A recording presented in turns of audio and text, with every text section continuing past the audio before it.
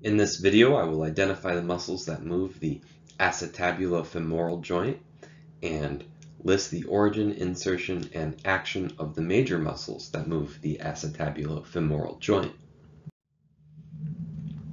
Here with a posterior view, the muscles that move the acetabulofemoral joint or hip joint, we see the most superficial muscles in the gluteal region have been cut to allow us to see the deeper muscles of the gluteal region, but we'll start by going through the muscles that have been cut. Gluteus maximus is one of these muscles. We can see the origin attached along the sacrum coccyx and ilium of gluteus maximus and then it it's you can see on the other side so it's see its origin is all along here for gluteus maximus and then the insertion for gluteus maximus we can see down here on the femur at the gluteal tuberosity the action of gluteus maximus is to extend the acetabulofemoral joint or to lateral rotate the acetabulofemoral joint. And so the acetabulofemoral joint, commonly referred to as the hip joint, the femur is extended or lateral rotated at that acetabulofemoral joint by the large superficial muscle, the gluteus maximus. Now, just deep to gluteus maximus and slightly anterior is the gluteus medius, which has also been cut in this image, but again, I'll highlight here its, its origin along the crest of the ilium and then its insertion is onto the greater trochanter of the femur. The actions of gluteus medius are to abduct or medial rotate the acetabulo-femoral joint.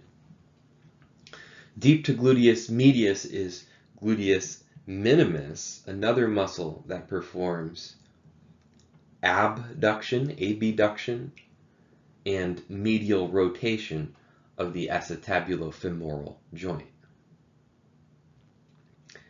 Inferior to gluteus minimus, here we see piriformis.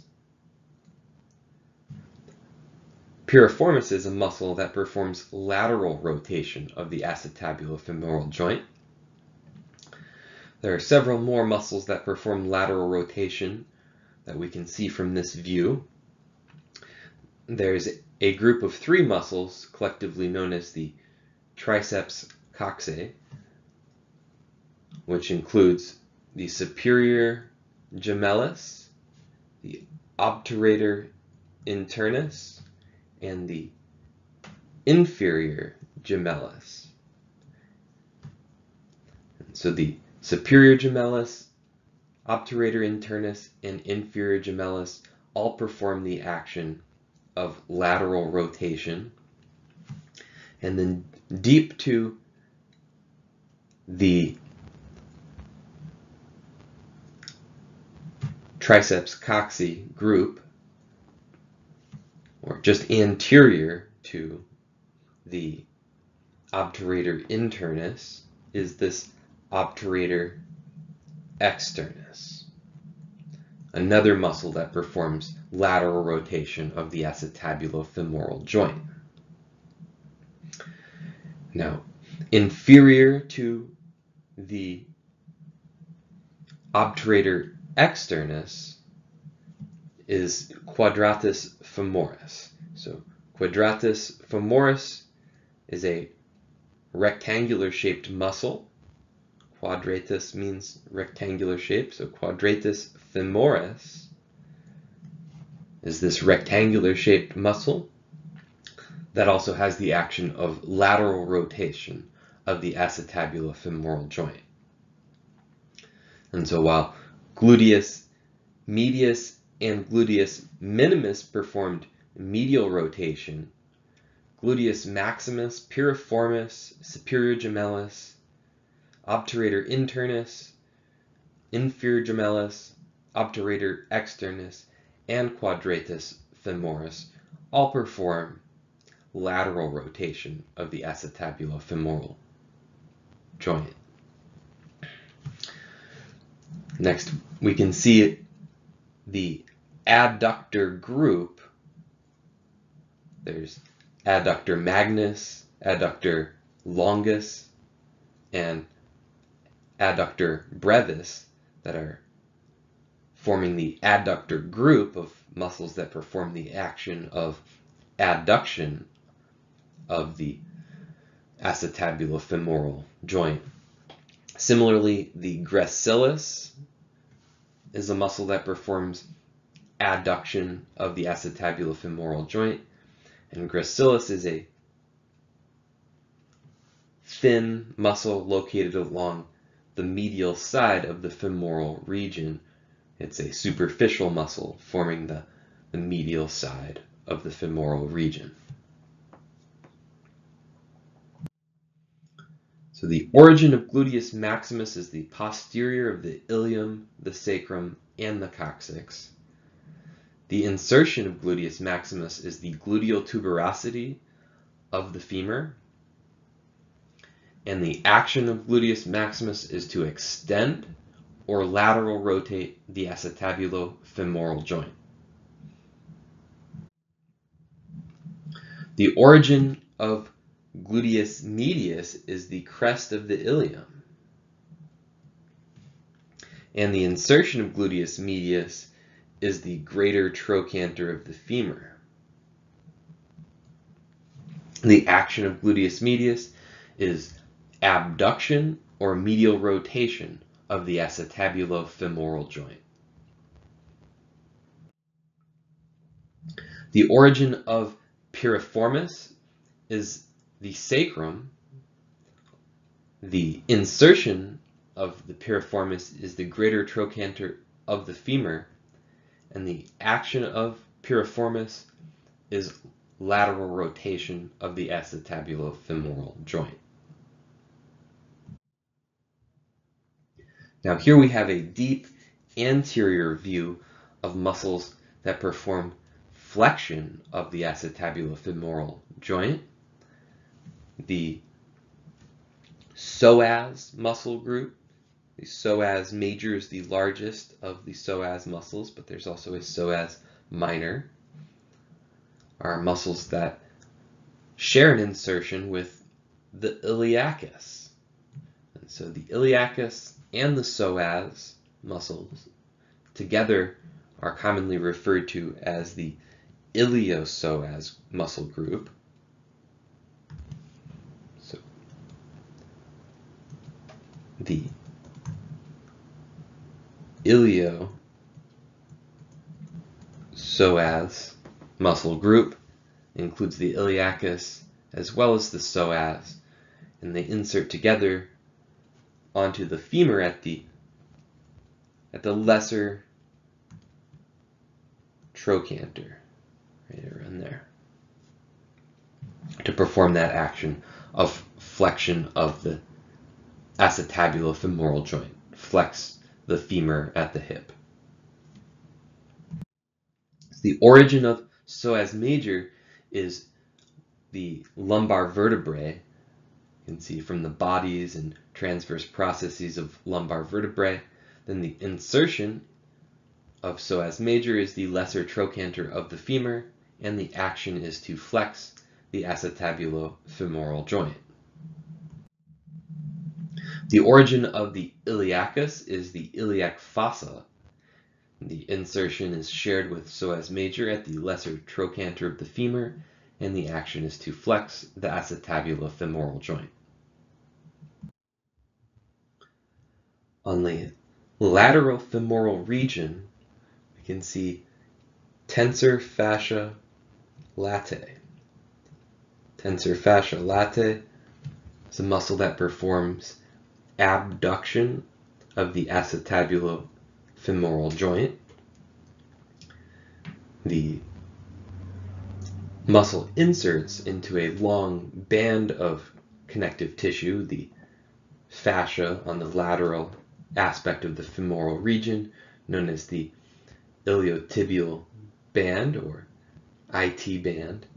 And so tensor fascia latae causes an increase in the tension of the fascia on the lateral aspect of the femoral region, the iliotibial band, the IT band.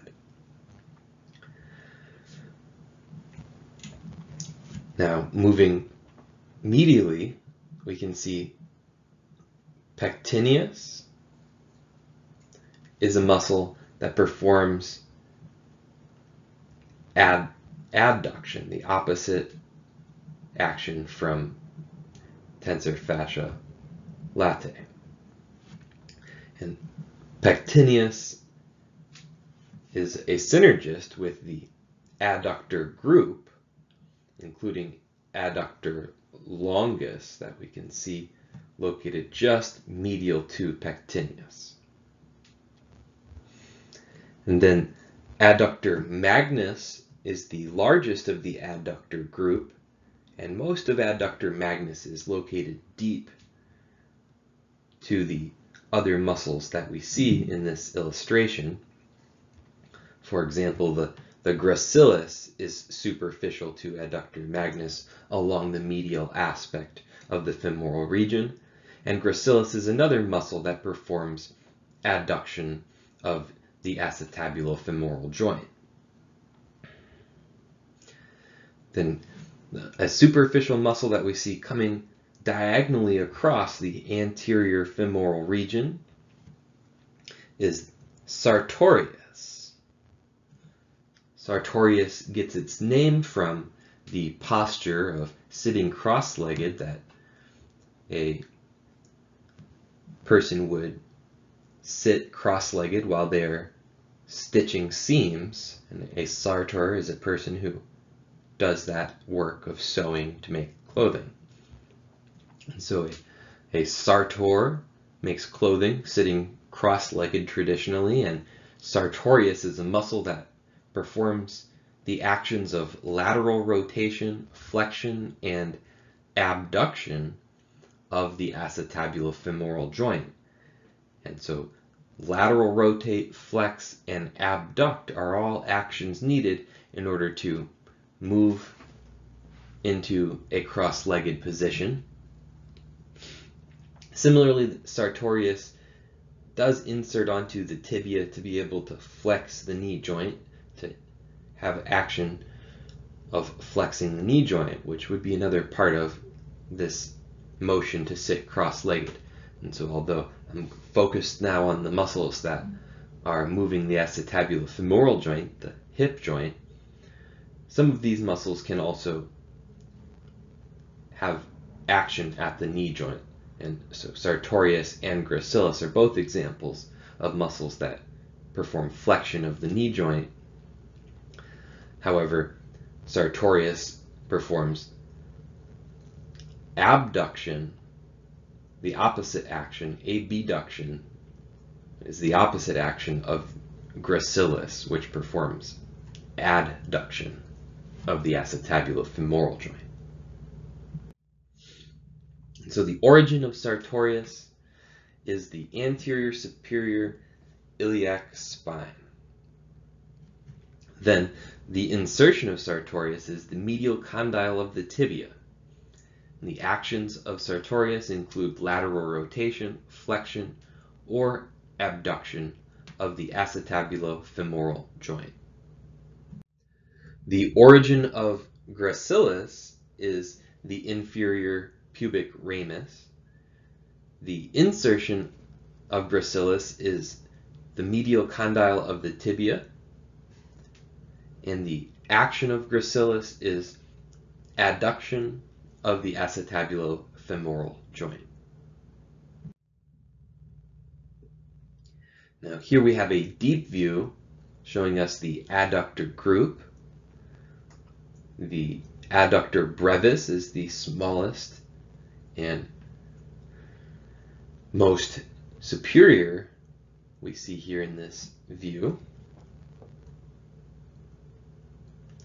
Then just inferior and medial to adductor brevis, we see adductor longus. And then posterior to adductor longus, this very large muscle, adductor magnus. And so the adductor group performs the action of adduction at the acetabulofemoral joint. And adductor magnus has an origin from the ischial tuberosity, has its insertion on linea aspera of the femur, and performs the action of adduction at the acetabulofemoral joint. Adductor longus has its origin from the body of the pubis on the anterior surface of the body of the pubis and has its insertion on the linea aspera right next to adductor magnus and its action is to adduct the acetabulofemoral joint.